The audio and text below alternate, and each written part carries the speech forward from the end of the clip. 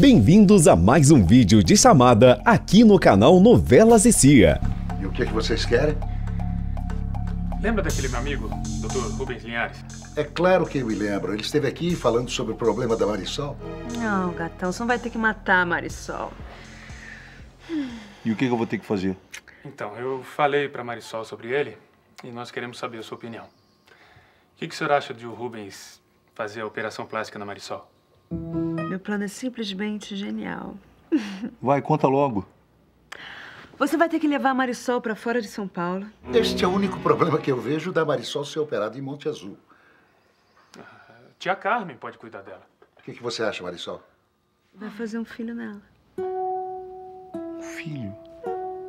A Marisol morre no parto e o seu filho se torna o herdeiro do Dr. Augusto Lima do Vale.